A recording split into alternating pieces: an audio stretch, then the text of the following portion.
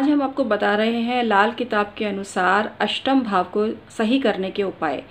अष्टम भाव जीवन में आकस्मिक परेशानियाँ, दुर्घटना वगैरह लेकर आता है, अकाल मृत्यु तक दे देता है। अष्टम भाव को जन्म पत्री में सबसे अशुभ बताया गया है। तो ये उपाय जो मैं आपको बता रही हूँ, इससे आपके अष्टम भाव संबंधी दोष समाप्त होंगे। अष्टम भाव से कुछ अच्छी चीज़ों का भी विचार किया जाता है, जैसे कि खूब रिसर्च करना, दबा हुआ खजाना किसी को मिल जाए, अचानक से बहुत धन संपदा मिल जाए, बहुत हाई लेवल तक रिसर्च करता है ऐसा इंसान तो कई मामलों में अच्छा भी रहता है। तो आप जो उपाय करेंगे, इससे आपके अष्टम भाव जनित जो परेशानियाँ हैं, वो कम होंगी और अच्छी चीज़ों का उद्गम आपके जीवन में होने लगेगा।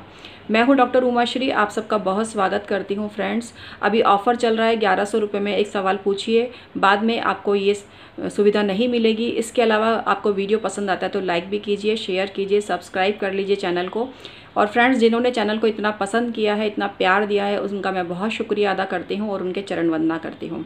आइए फ्रेंड्स कंटिन्यू करती हूँ अपनी बात को और आज आपको बता रही हूँ, लाल किताब के अनुसार अष्टम भाव को स्ट्रॉन्ग करने के कुछ खास उपाय. इन्हें कोई भी जाति धर्म के लोग कर सकते हैं जिनको अपनी कुंडली में पता नहीं है कि अष्टम भाव क्या होता है तो वो ऐसे लोग करें जिनके जीवन में आकस्मिक परेशानियाँ बनी हुई हैं। इन उपायों से उन व्यक्तियों को बहुत लाभ होगा। तो आइए जानते हैं स्टेप बाय स्टेप कौन से उपाय आपको करने हैं। पहला उपाय यह है कि किसी भी ऐसे मकान में ना रहें जो साउथ फेसिंग हो। साउथ फेसिंग मकान लेने से कुंडली का अष्टम भाव पीड़ित होता है। दूसरा है सफ़ेद गाय की हमेशा सेवा करनी चाहिए। अगर आपके पास स्पेस है तो आप गाय को पाल भी सकते हैं। लाल किताब कहती है कि अपना चरित्र उज्जवल रखना चाहिए, उससे अष्टम भाव सही होता है।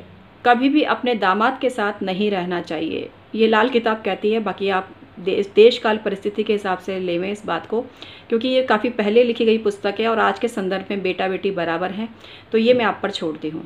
बड़े भाई की भी सेवा करने से अष्टम भाव स्ट्रांग होता है। 800 ग्राम गेहूँ और 800 ग्राम गुड़ रविवार से चालू करें और आठ दिन तक किसी भी धर्म स्थान में चढ़ाएँ।